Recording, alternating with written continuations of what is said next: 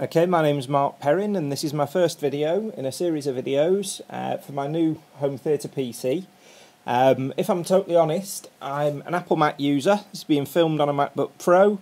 I've got registered copies of Mac OS 10. I've got all the Apple Macs in the house, but the reason why I built this machine was simple.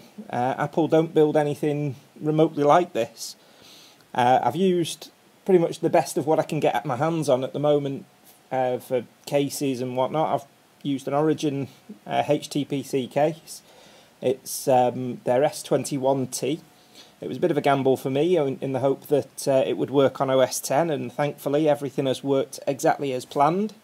Um, just powering it up now for the first time, so you can see how it all runs on Mac OS 10.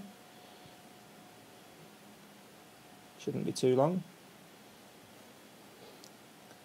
Use the Gigabyte motherboard. I'm running a quad core Intel 2.83 processor. Nothing's overclocked, I've just left it as standard.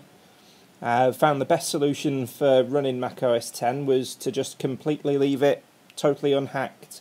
So I've used the new um, eFix, which is, I believe, quite difficult to get hold of still at the moment but uh, I managed to import one from uh, Switzerland. Now eFix has now selected the right drive. I'm running a 128 gigabyte SSD drive, which, although small for a home theatre PC, there are other servers in the household, but it just speeds up the boot process dramatically. As you can see now, it's given me the option to log on directly to my last FM. I have everything uh, set up in my dock at the bottom of the screen. Um, the touchscreen works beautifully. I'll just show you that. There we go, full touchscreen Apple Mac. Got Safari. Straight onto the internet using 802.11n networking.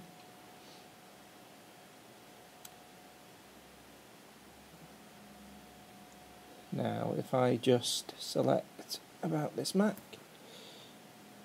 I'll move this a bit closer so you can all see. It says there we're using a 4GB memory. I've kind of customised the About This Mac screen a little bit to show that it's got a gigabyte motherboard, but the touch screen works beautifully. Really, really pleased with that. Um, you can just touch the display. I'm at a bit of a funny angle at the moment, so it's quite hard to to get on the the button exactly you can see software updates. I'm currently on 10.5.5, which is the latest version of Mac OS 10. And some of you may be wondering where the drives are on this machine.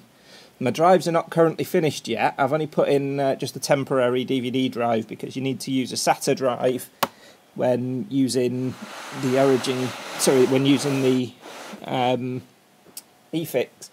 So for the moment, if you push the little button hidden under the front, the panel slots down, revealing a multi multitude of card slots, uh, two extra USBs and a FireWire, and the DVD drive is mounted just behind here.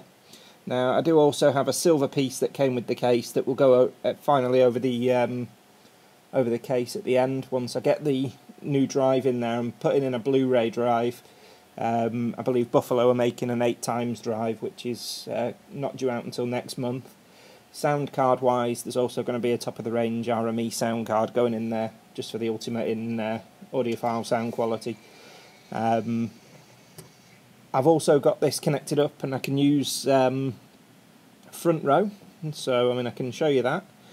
Uh, simply put, you press front row.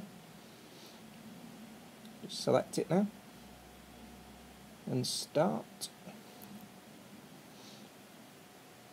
Now that screen will go off. And now as you can see on here. Front row's appeared on the plasma. So you now have full control of front row using the Apple remote control. So that all operates exactly as predicted. And this is using the built-in infrared that comes complete with the case.